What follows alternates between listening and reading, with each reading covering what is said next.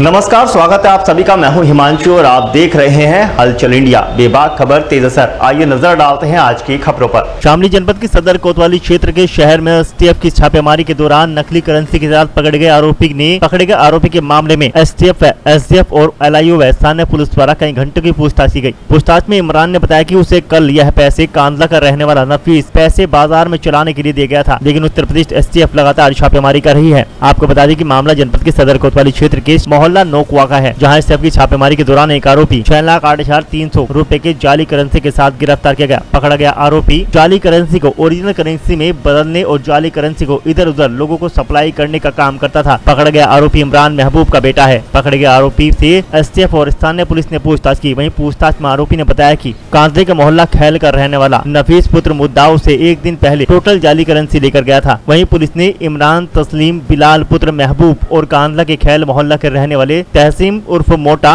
उर्फ़ तासीन, पुत्र नफीस और मुंदा के नाम मुकदमा दर्ज किया है। पुलिस ने सभी के खिलाफ चार सौ नवासी ए, चार सौ नवासी बी, चार सौ नवासी सी और चार सौ बीस बी धारा के तहत मुकदमा दर्ज किया है। पकड़ गया आरोपी इमरान, पुत्र महबूब 2008 में भी नकली करेंसी के मामले में जेल जा चुका है, जिस पर गुंडा एक्ट और एनएससी की कार्रवाई पुलिस द्वारा की गई थी।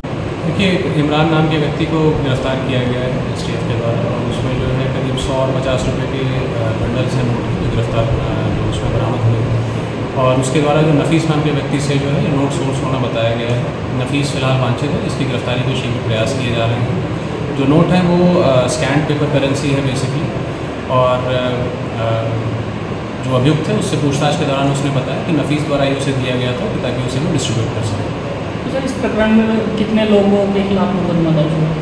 देखिए इसमें जो है कुल एस एफ़ ने इसमें जो एफ़ आई आर करवाई है जिसमें भी फ़िलहाल इमरान की गिरफ्तारी हुई है। और नफीस इसमें वांछित है और उसके अलावा जो है और भी उसके जो है कुछ सहयोगियों का नाम जो है इसमें आया है इसके संबंध में निवेश वक्त हो चढ़ा है आपसे विदा लेने का। कल फिर होंगे हाजिर कुछ नई और ताज़ा खबरों के साथ। तब तक के लिए दीजिए हमें इजाज़त। नमस्कार। देखते रहिए हलचल इंडिया। बेबाक खबर, तेज असर।